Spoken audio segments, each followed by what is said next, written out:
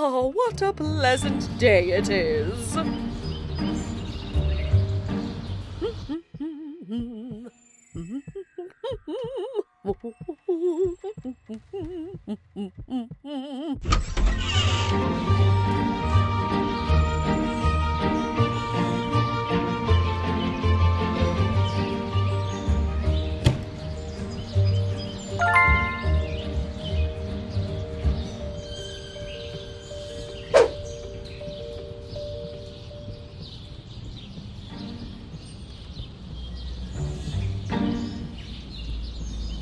Today's the day I make the front cover of the paper. I mean, who else could it be?